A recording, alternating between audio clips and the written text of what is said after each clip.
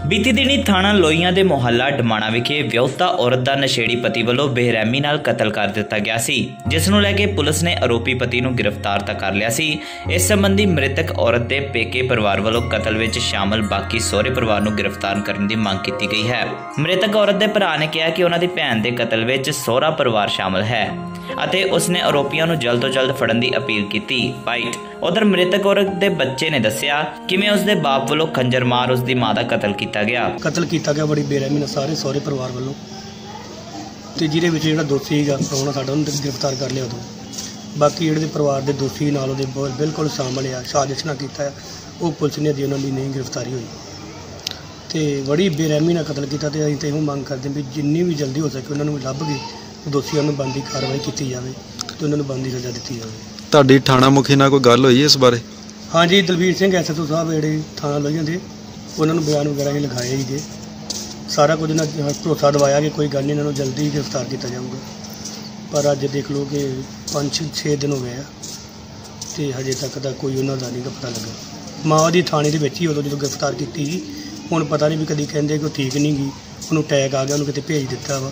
ਇਹਨਾਂ ਨੂੰ ਉਦੋਂ ਗ੍ਰਿਫਤਾਰੀ ਪਾਉਣੀ ਚਾਹੀਦੀ ਸੀ ਇਹ ਜਿਹੜਾ ਪ੍ਰਾਹੁਣਾ ਵਾ, ਬਹੁਤ ਹੀ ਜ਼ਿਆਦਾ ਆਦੀ ਸੀਗਾ ਨਸ਼ੇ ਦਾ ਬਹੁਤ ਜ਼ਿਆਦਾ ਕੋਈ ਗੋਲੀ, ਗੱਟਾ, ਸਮੈਕ ਵਗੈਰਾ ਪੀਂਦਾ ਸੀਗਾ। ਤੇ ਜਿਹੜੇ ਨਾਲ ਉਹਦੇ ਘਰ ਦੇ ਉਹਦੀ ਪੂਰੀ ਰਾਇ ਕਰਦੇ ਸੀਗੇ। ਉਹਨਾਂ ਸੋਚਿਆ ਵੀ ਸ਼ਾਇਦ ਅਮਲੀ ਇਹ ਤਾਂ ਮਾਰ ਕੇ ਚੱਲ ਜਾਊਗਾ। ਤੇ ਅਸੀਂ ਕੀ ਕੀ ਲੈਣਾ ਦੇ ਕੋਲੋਂ? ਤੇ ਜਿਹੜੀ ਮਾਂ ਉਹਦੀ ਮੇਰੇ ਕੋਲ ਮੌਕੇ ਤੇ ਖੜੀ ਸੀਗੀ, ਭਰਾ ਵੀ ਆ ਜਿਹੜਾ ਮੁੰਡਾ ਵੱਡਾ ਵਾ, ਬੇਟਾ। ਇਹਨੇ ਮੌਕੇ ਤੇ ਸਾਰਾ ਕੁਝ ਦੇਖਿਆ ਵਾ ਕਤਲ ਹੁੰਦਾ ਦੇਖਿਆ ਚੀਕਾਂ ਮਾਰੀਆਂ ਵਾ ਪਰ ਉਹਨਾਂ ਕੋਈ ਪਰਵਾਹ ਨਹੀਂ ਕੋਈ ਤਰਸ ਨਹੀਂ ਕੀਤਾ।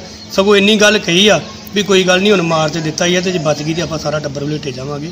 ਕਿੰਨੇ ਮਾਰਿਆ ਤੇਰੀ ਮੰਮਾ ਨੂੰ? ਤੂੰ ਦੇਖਿਆ ਜੀ, ਕਿੰਨੇ ਮਾਰਿਆ? ਡੈਡੀ ਨੇ। ਕਿਵੇਂ ਮਾਰਿਆ ਕਿਵੇਂ? ਉਹ ਉਹਨਾਂ ਨੂੰ ਖੰਜਰ ਨਾਲ। ਖੰਜਰ ਨਾਲ ਮਾਰਿਆ? ਤੁਰ ਅਹ, ਤੁਸੀਂ ਕੌਣ ਕੌਣ ਸੀ ਹੋਰ ਉੱਥੇ? ਅਸੀਂ ਮੈਂ ਤੇ ਮੇਰਾ ਛੋਟਾ ਭਰਾ। ਦਾਦੀ ਚਾਚਾ ਤੇ ਚਾਚੀ। ਤੇ ਕਿੰਨੇ ਕਿਹਾ ਸੀ ਮਾਰਨ ਵੱਲੋਂ?